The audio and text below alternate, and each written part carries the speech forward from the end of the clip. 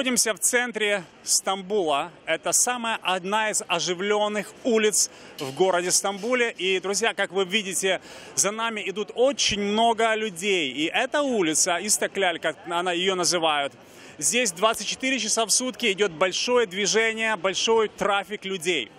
И мы встречаем здесь э, разных людей, не только турков, но также русскоговорящих, других национальностей, которые приезжают в эту огромную страну, как Турция, для того, чтобы познакомиться с, э, с историей а, познакомиться здесь, э, скажем, или найти какие-то еще возможности для того, чтобы жить здесь, кто по бизнесу приезжает и много-много других причин, почему люди приезжают в этот город. Но одна из целей, почему мы здесь, и самая основная цель, мы здесь находимся для того, чтобы рассказать людям в этом городе, в Стамбуле, в этой мусульманской стране о том, кем является Иисус Христос. И я еще раз хочу сказать и напомнить вам, дорогие, что Стамбул – это 18-миллионный город. И сама э, страна Турция э, составляет, э, состоит из 75 или уже 80 миллионов человек – которая населяет эту страну. И по статистике здесь всего лишь 5 тысяч верующих. И сколько миссионеров, вы спросите, всего лишь единицы. И со мной рядом стоит Николай. Мы проводим это прекрасное время, дни в Стамбуле. Я хочу задать некоторые вопросы тебе, Николай. А, самый первый вопрос. А, что ты чувствуешь, какие у тебя ощущения в то время, когда мы ходим по улицам Стамбула, общаемся с людьми, заводим какие-то контакты и так далее. А, какие у тебя ощущения? Ну, особенное, как бы, что сразу чувствуется, что этот город, эта страна, наверное, очень готовы к Евангелию. В самом деле готовы люди открыты, люди готовы слушать, люди готовы общаться. Но я думаю, здесь еще помогает и вообще их э, характер, потому что люди очень дружелюбные. Угу. Да? А, и очень легко идут на контакт, очень легко общаются, ты начинаешь разговаривать, или они с тобой начинают разговаривать. А, что здесь особенно еще то, что огромное количество людей – Э, если не говорят по-русски, то могут что-то сказать, хотя бы какие-то фразы. Мы каждый день встречаем по много раз, э, и они слышат, они сразу узнают, что это русский язык, то, что мы между собой говорим. Да. Момент, о, по-русски, да? Э, или начинают не с нами сразу говорить, или какие-то фразы, потому что очень сильно как-то взаимосвязь между странами, да, и какое-то очень хорошее расположение. Да, я да. Сам, на самом деле, я тоже самое ощущаю вот такое очень теплое, радушное отношение, особенно для, к, к русским. Да, да, и да. когда мы здесь, хотя мы имеем американское гражданство, однако же мы являемся свидетелями, что а, когда мы говорим, что мы с Россией, потому что ну, наши корни, скажем, с бывшего Советского Союза, скажем, у людей совершенно наблюдается другое отношение. Мы видим это на лицах, да, они начинают даже говорить говорить по несколько слов, а кто-то довольно достаточно владеет русским языком. Николай, ну вот я хотел бы, чтобы мы а, прояснили, в чем здесь причина, почему, скажем, это Ближний Восток, это Турция, Стамбул, почему а, турки, они так, а, си, то есть питают такую симпатию к русским, чем это вызвано? Или есть на это исторические причины, или же а, здесь, скажем, какие-то современные причины? Я, конечно, а, знаю, что есть на это причины, вот как ты думаешь? А, Наверное, благодаря русско-турецкой войне. Вот нет, так, конечно, да. нет. Э, Все значительно ближе. А когда, э, так сказать, закончился Советский Союз, э, то это, наверное, первая страна, куда массово наши люди стали ехать. Вначале еще по бизнесу. Да. да, здесь все закупали, продавали, приезжали. А потом это стало туристическим местом. Но также очень много турков были в России. Это очень большие стройки. Это белая гвардейская, скажем, иммиграция еще в десятых годах. Очень много а. белогвардейцев Говорят, 30 тысяч русских, русских белогвардейцев когда-то были отправлены в Турцию. Они заводили семьи, они здесь, а, то есть обосновывали свою жизнь. И ты знаешь, меня немножко, очень часто бывает сильно удивляет то, что идя по улице, смотря очень много турков, но я смотрю славянские лица, мне так хочется заговорить на русском языке. Я, я подхожу... Я некоторые говорил тоже. Да, они вообще не понимают нас, да? Ну... А выглядят как будто бы наши люди. Да, потому что э, действительно еще, ну, как бы до вот последнего, так сказать, вот, вот последние 20 лет, до этого здесь тоже жило очень много русских людей, получается, да, с тех времен.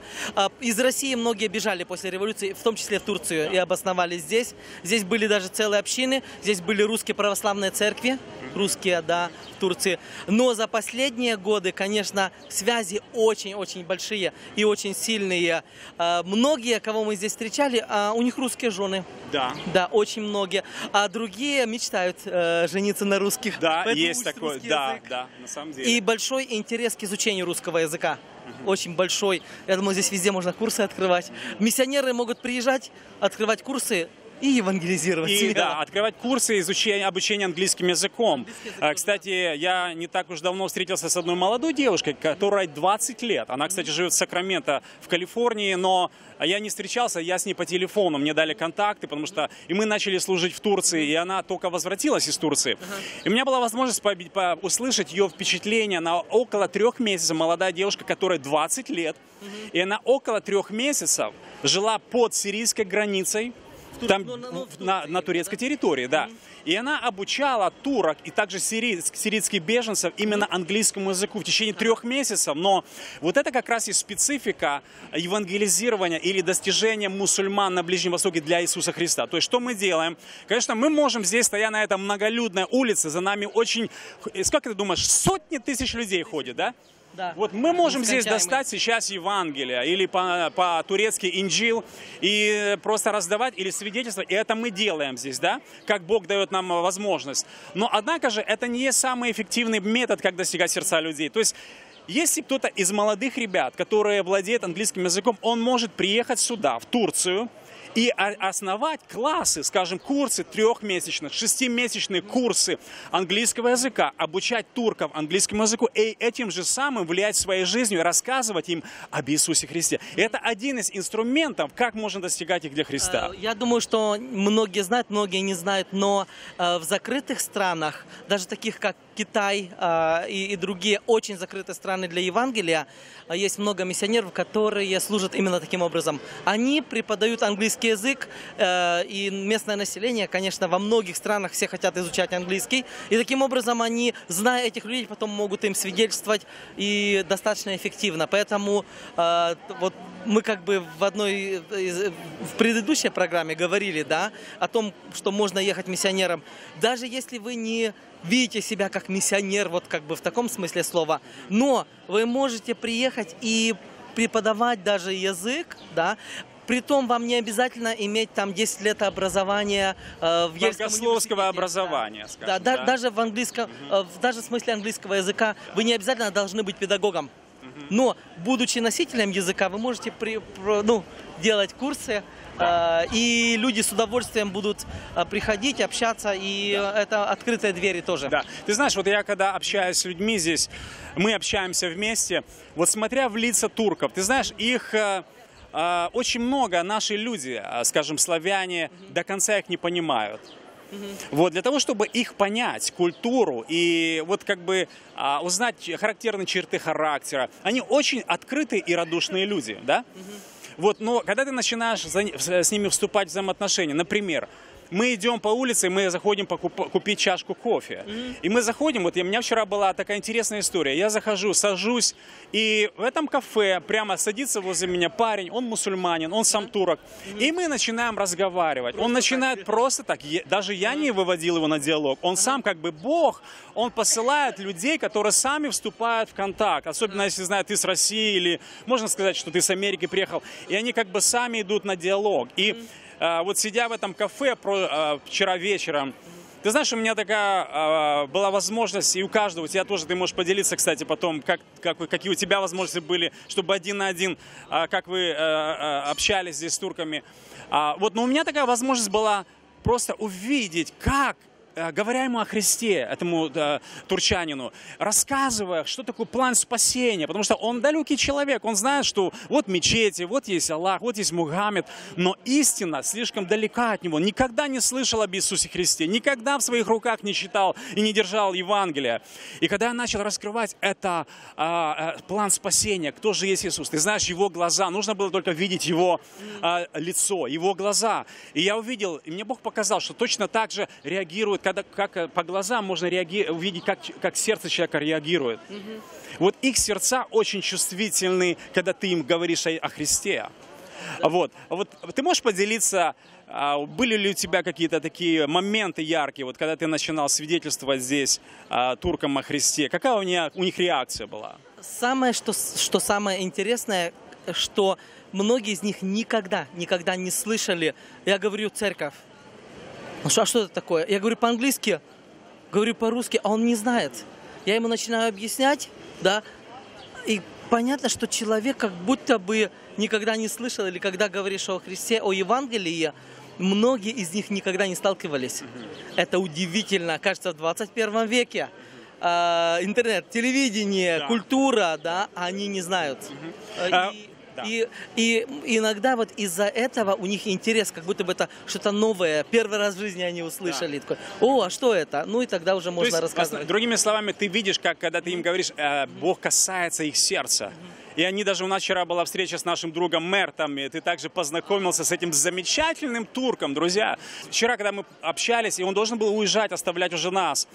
И мы начали за него молиться опять. Мы Ой, и днем молились, потом после, мы в обед молились, потом, когда он уже должен был уходить, и мы начали молиться. И он так сжал сильно мои руки опять. И он говорит, мы помолились сильно, и потом мы, он не отпускает, мы говорим аминь. Э, а он... Помните, что он, он мусульманин, да, он, он местный турок, да. И по, это прямо идет молитва, э, там Павел молится за его там какие-то дела, да. И это во время молитвы он говорит, помолитесь еще за мою жену. Да, мы молимся, а, помолитесь еще за мою маму, да. да, да, да. Так интересно, как ну, будто вот бы это... Открытое да, сердце. Очень. среди всех людей, с кем мы общаемся, кого Бог нам дал здесь, Мэрт, мы верим, мы молимся за него, мы верим, что это mm-hmm. будущий лидер, это будущий mm-hmm. служитель, это будущий человек, который потенциальный mm-hmm верующий человек, который так близко уже к спасению. А, и... вот, между прочим, вот когда я его увидел вчера, вы-то говорили о нем раньше встречались, mm-hmm. да? Когда мы общались и все, и у меня вот такое было, знаешь, как я вспомнил, а, когда апостол Павел говорил об одном а, человеке, что он есть начаток Ахайи. По-русски не совсем понятно, о чем был человек один, который самый первый уверовал, когда апостол Павел пришел вот на этот континент, и он был самым-самым первым уверующим, и апостол Павел говорил, что он как бы начаток, это пер, первый человек уверовавший, да, и вот так вот у меня было такое ощущение, что вот тот что один, человек, один что первых. один из первых людей, который будет каким-то образом участвовать ну, как бы задействован в дальнейшем служении здесь. Вот Вау. это то, что я чувствовал. Что было удивительно, это был первый раз в моей жизни, когда я был встречен незнакомым человеком, мусульманином, так тепло, да, он, когда он увидел нас, да, мы встречались в каком-то месте, и он пришел, он пришел, обнял, как будто бы человек, которого я сто лет как знаю. Родные как братья. Родной, а я его никогда не видел. Mm. И если бы вы не сказали мне раньше, что он мусульманин, да, я я бы, у меня мысли не могло бы возникнуть, что он не христианин. Да, То вот как. Он, он, вау, пришел, привет, обнял, все такое, как вот, это удивительно очень было. Друзья мои, я хочу сказать сейчас, что благодаря тому, что мы вещаем такие программы, которые вы сейчас видите с Турции или с Ближнего Востока, где вы нас смотрите, такой человек, как Мерт, благодаря этим программам, да. он мог, а, Бог, я верю, что это Бог сделал такой специальный контакт. Мы вещаемся с Турции. Смотрит нас другой человек совершенно с Флориды и говорит, у меня есть друг, я знаю, что вы служите в Турции. У меня есть один там друг, который знаком нам на протяжении многих лет. Вот вам адрес, вот вам телефон. Когда вы будете очередной раз в Стамбуле, я хочу, чтобы вы с ним встретились, познакомились. И таким образом у нас произошел этот контакт с Мертом, нашим драгоценным э, другом. Ну, что же можно сказать? То есть есть влияние мидии. Мы говорим о том, что даже сегодня встречались мы с пастором, который на служении здесь в церкви в Стамбуле. Есть замечательная церковь. очень мало. На 18 миллионов человек. Есть одна буквально несколько несколько церквей, не одна больше, чем одна. Но однако та церковь, где мы были сегодня, мы удивились, да, очень удивительно, что в этом мусульманской стране есть э, церковь, которую, которая проповедует в огне Святого Духа, да, в движении, в видении. И они верят, что Бог, Он приготовил что-то особенное для турецкого народа. И он сказал сегодня удивительную мысль, пастор а, Николай, что они большой акцент сейчас делают на медиа. То есть они вещают на YouTube, они вещают на даже программы есть на телеканале, они вещают здесь. То есть мы думаем, что только мусульманский мир, он закрыт через медиа, но наоборот оказывается. Мусульманский, да. Очень много мусульман, дорогие, они смотрят YouTube, они смотрят медиа, они смотрят другие э, медианосители, и таким образом они узнают о, о Христе. Поэтому еще один такой вопрос я хотел бы тебе задать. За нами вот масса людей, да, идет. Как ты думаешь, сколько здесь человек за нами идет? Вот по этой улице, одна из центральных улиц Стамбула. Ну, сотни тысяч, наверное, а в день, может быть, и миллионы проходят, да? Но я думаю, что вот когда смотришь на улицу, ты одновременно можешь, а в один момент ты можешь видеть несколько тысяч человек, вот в один момент. То есть можно представить, сколько здесь за сутки проходит. А, тем более эта улица а, днем и ночью здесь ничего не закрывается. Да. А как ты думаешь, э, чья это ответственность? На, на ком ответственность, э, вот когда Бог смотрит на этих людей? Как ты думаешь, э, Бог возлагает эту ответственность и дал это поручение только турк, турецкоговорящим, только жителям местного, скажем, национальности достигать их? Или с твоей точки зрения, могут ли славяне сюда ехать или другие национальности для того, чтобы достигать турков? Другими словами, какое нам до них дело, да? Да, вот, ну, как бы так но надо понимать, что любой народ, да, э, любой народ, кто-то приходил к ним извне. Да. Э, первые, в первом веке вот на этот континент а, приходили апостолы, они шли из Иерусалима, они приносили сюда Евангелие. Здесь появлялись церкви, обращалось много людей. Отсюда люди шли да, и дальше не шли Евангелие. Да? Поэтому э, я думаю, что в настоящее время э, любые верующие из любой страны, э, которые знают Господа, должны идти туда, где, э, где в общем-то, Евангелие сейчас ну, представлено очень-очень мало. Ну, для этого нужно иметь посланничество, для этого... Вот как человек, который смотрит нас сейчас а, например, он в Сиэтле, или в Калифорнии, или в другой, или в России. Он, вот, для него это далекая, скажем, Турция, от меня он скажет далеко. Для него нужно открыть Писание и прочитать, что Христос сказал, идите и, э, по всему миру и проповедуйте, или же и принять это как э, личный, э, скажем, призыв, да, или же человек должен откликнуться на миссию, имея какой-то персональный, получив персональное приглашение от Бога, да, вот получив голос от Бога, или услышав, вот Господь посылает тебя в Турцию, Господь посылает посылает тебя к турецкому народу.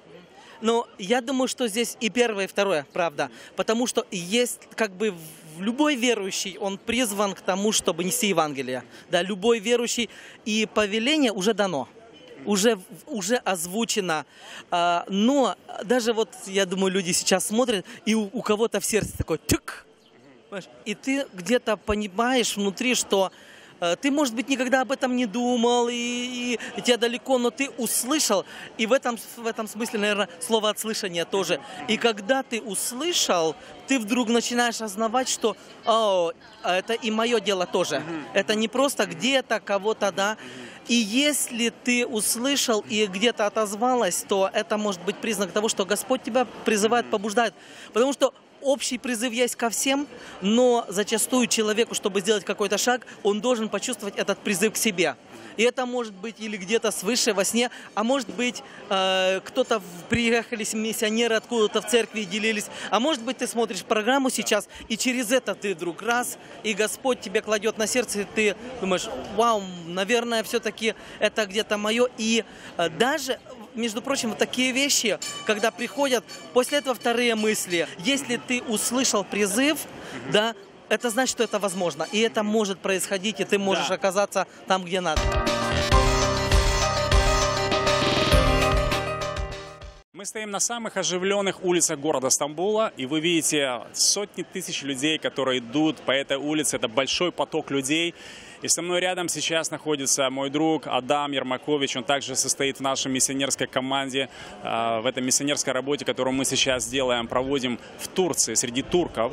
А, а, Адам, спасибо тебе, что ты являешься частью и присоединился в этой команде нашей для того, чтобы быть здесь молиться за турков, свидетельствовать им и слушать, что Бог говорит, да, по отношению к этим людям, какие Божьи планы у Бога для турецкого народа.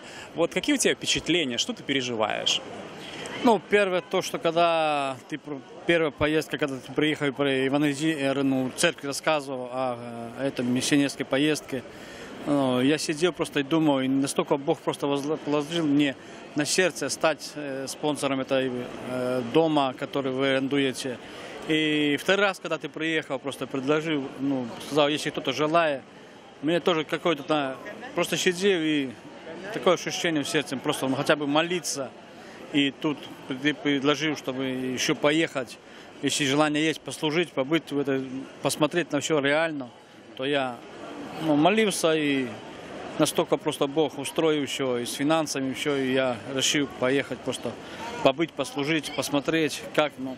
И видя то, что действительно люди, может, достатки, они живут, все, но смотря на все, настолько пустота в сердцах людей, потому что, ну, видя их глаза и все прочее, когда общаешься с, с некоторыми с них, то просто реально видишь, что они хотят что-то достичь больше, но как э, в связи с тем, что развитый этот исламизм, поэтому я думаю, что немного тяжело в этом.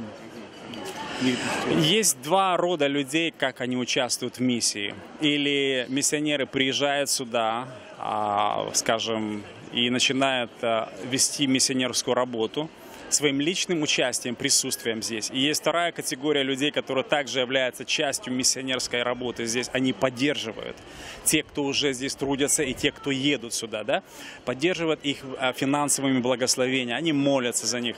Но а, я так благодарен Богу, что у тебя сочеталось эти два, скажем, две стороны. Ты не только финансово решил участвовать и благословлять миссионерскую работу среди турецкого народа и русскоговорящего также, потому что мы, хотя мы находимся сейчас в Стамбуле, но мы также, у нас завтра будет два дня, мы будем на территории Северного Кипра, которая находится под турецкой оккупацией, где живет около 300 тысяч туркоговорящих. И поэтому э, мы достигаем здесь Евангелием Иисуса Христа и русскоговорящих, и турков. Вот поэтому ты являешься хорошим примером для многих, даже тех, кто они задают вопросы или даже э, обращаются к Богу кто-то и говорит, а как я могу стать частью этой миссии, этой работы достижения людей? Конечно же, мы всегда приглашаем, говорим, прекрасно, если вы приедете, дорогие, и начнете личным своим участием находиться здесь и служить среди этих людей. Но если вы не можете, если у вас нет таких возможностей приехать и личным участием поучаствовать, тогда что могут сделать такие люди, которые также хотят видеть спасенных да, людей? Что они могут сделать? Они могут э, просто участвовать финансово, благословлять тех, да. которые уже идут и здесь трудятся, да? Да, можно благословлять э, финансами, можно молиться, поддерживать молитвы. Я думаю, что когда вечером или утром, когда мы склоняемся для молитвы, я думаю, что не тяжело будет вспомнить о, этой, о миссии, которую, например, ты услышал, действительно, что там начали работать. И в этом, э, в этих, э, на Востоке, это не так просто работать с этими людьми, но должны просто возносить эту молитву к Богу, чтобы действительно Бог открывал сердца. Когда Бог действительно открывает сердца людей, то э, для Господа нету препятствий, какая раса. Главное, чтобы мы были исполнены Духа Святого, чтобы действительно двинуться в этом направлении. Когда действительно Дух Святой будет вести, то для нас нет ничего невозможного. Я думаю, что я также не от себя просто решил пойти там, поехать или послужить финансами. Мне тоже, я молился об этом, нуждался, и Бог просто положил на сердце послужить. Я... Адам, я так благодарен Богу за тебя. Вот а, потому что, знаешь, ты являешься примером а, такого человека, который которому неравнодушны судьбы других людей. Ты мог бы также закрыться и сказать, я я могу пожертвовать или благословить да. на работу в Беларуси или в России или еще где-то, но, да, да, да. понимаешь, Господь, я вижу, как Господь дал тебе такое сердце и вместил даже людей, мусульман, от которых многие сегодня на Западе, они отворачиваются. И знаешь, а, служа здесь уже с ноября а, прошлого года, я встречаю таких людей иногда, их немного, которые, как говорят, а зачем туда ехать? Зачем достигать мусульман? И знаешь, Знаешь, мне нравится, один человек сказал так, миссионер, он говорит, если мы не будем достигать мусульман Евангелием Иисуса Христа, тогда мусульмане, они будут достигать нас. И то, что мы видим сейчас в Европе, то, что мы видим в других местах, когда церковь ослабевает, когда миссия ослабевает, и люди не проповедуют Евангелие, в котором есть сила Божья для спасения людей, мы видим, что мусульмане приходят, и они приносят а, свою, свою веру, свои убеждения. Но, а, но мы будем делать то, что Господь нам поручил делать. Поэтому мне нравится то, что ты сказал, дорогой. Ты сказал, что а, а, Господь, для Бога нет разницы. Или это чернокожие, или это турки, или это русские, или это а, киприоты, да. А Если мы любим Бога, если мы послушны Богу, Господь будет нас вести а, вне каких-то барьеров, вне, вне тере- стереотипов для того, чтобы достигать людей, которые даже вне твоей национальности. Э, Еще такой вопрос, например, как э, ради 5-10 человек Бог тебя помилуй просто ты города и поселки. Поэтому я думаю, если даже в этом 18 миллионов будет 50 человек, то Бог и этих людей помилуй. Поэтому мы должны достигать. Сколько, мы, сколько Бог прилагать мы спасаем к церкви, это уже мы должны делать свою работу, а Бог будет свою прилагать людей. Да, я, я полностью согласен. И это по-библейски. Мне нравится, апостол Павел говорит в э, послании к Коринфянам, что для иудеев я был как иудей. И для еленов и так далее. Для чего он говорит это? Я, иными словами, апостол Павел говорит, что я опустился на уровень другой национальности. Или я принял другой народ. Для того, чтобы, он говорит, для того, чтобы спасти хотя бы некоторых. Вот как раз на Ближнем Востоке, когда мы служим и проповедуем Евангелие здесь, мы не нацелены на массы, хотя мы видим здесь сотни тысяч людей, которые ходят, но мы нацелены на отдельных людей, как Павел говорит, чтобы спасти хотя бы некоторых. Потому что достигнув этих некоторых, а эти некоторые достигнут своих близких, своих соседей, своих сотрудников, и с таким образом это слово, как закваска, она будет заквашивать здесь людей в мусульманском мире. Поэтому, знаешь, мне э, еще вспоминается одно, один пример одного служителя, который рассказывал потрясающее свидетельство, как Бог а, просто пробудил в нем этот миссионерский дух. И как он мог выйти из этой зоны комфорта и пойти достигать людей другой национальности. И он говорит, я спал ночью. Говорит, и я увидел массы, массы, сотни, сотни тысяч людей, которые шли на, по направлению пропасти. И когда они шли по направлению этой пропасти, толпа была настолько сильно, сильно, сильно, сильно она двигала, что те люди, которые подходили прямо к пропасти и падали в эту пропасть, они не могли остановиться. Они не могли остановиться или оглянуться назад, потому что давление толпы за, просто а, а, бросало их в эту пропасть. И Бог обратился к нему и говорит следующие слова. Говорит, ты видишь каждый, кто упал в эту пропасть. Говорит, это будет на твоей ответственности. Иди и проповедуй Евангелие. И знаешь, вот это, эти слова или это посланничество, которое Бог дает сегодня для нас, для людей таких, как ты, для таких, как я, или других людей, которые мы понимаем, что жатвы много, жатвы много. И знаешь, иногда мы думаем, а, да, уже все спасены люди, да, уже везде миссионеры. Ничего подобного в мусульманском мире, где мы сейчас находимся. Еще, кстати, по статистике находится около 2 а, миссионера на 1 миллион человек в мусульманском мире. Это меньше, чем капля в море. Поэтому, как Христос сказал, что жатвы много, а делателей мало, поэтому молите Господина жатвы, чтобы Он высылал на делателей на Ниву. Ну, у меня еще такое свидетельство, когда я также закончил э, московскую семинарию, я приехал и тоже пришел, пастор привез в одну деревню, сказал, здесь ты должен открывать новую церковь. И когда мы начали открывать новую церковь, мне все сказали, что не ты первый, не ты последний сюда приезжаешь. И тут не было церкви и не будет никогда. Но я сказал, что это не я делаю. Если Богу угодно, Бог поставит церковь.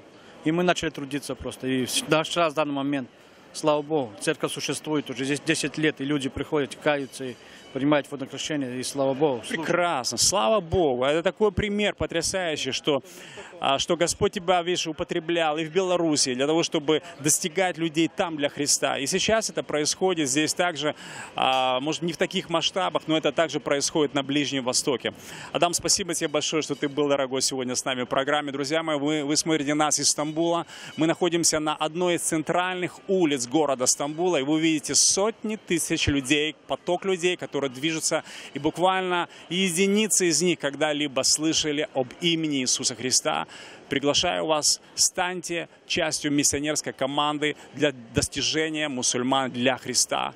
Вы можете писать нам на адрес электронной почты, которую вы видите на адресе, то есть на телеэкране, а также пишите нам по телефону, который вы видите также. Мы всегда рады слышать, получать от вас и слышать от вас весточки, а ваши письма с вашими пожеланиями, а также с тем, что вы говорите. Мы молимся, мы благословляем и стоим вместе с вами в этом служении. Мы любим вас и будьте благословены.